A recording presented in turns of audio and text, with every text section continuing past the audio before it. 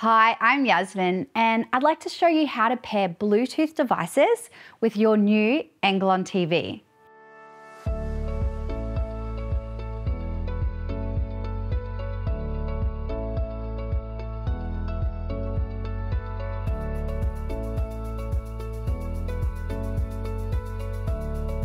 This is useful for when you want to connect things like speakers or headphones to your TV.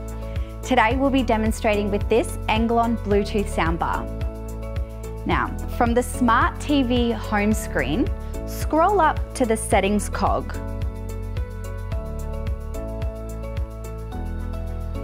Scroll down to remotes and accessories and select add accessory.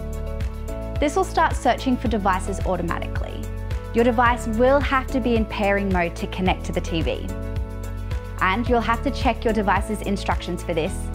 But you'll see your device on the menu along the right here, which we're going to select, and it'll start pairing automatically. Select pair. Here. And then you're paired. And now your sound is coming from the soundbar. And just like that, you're done. You can follow these same steps to connect to other Bluetooth devices, like Bluetooth headphones. But please note that the TV can only be paired with one Bluetooth audio device at a time.